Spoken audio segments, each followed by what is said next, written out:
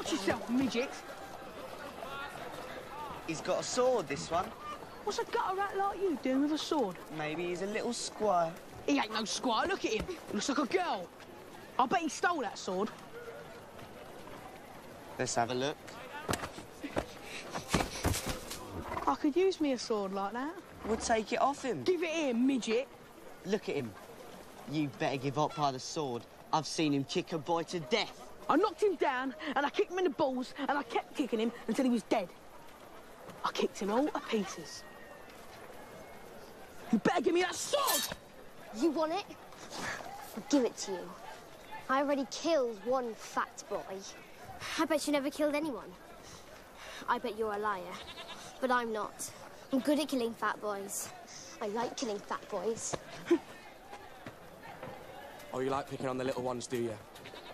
You know, I've been hammering an anvil these past ten years. When I hit that steel, it sings. You gonna sing when I hit you?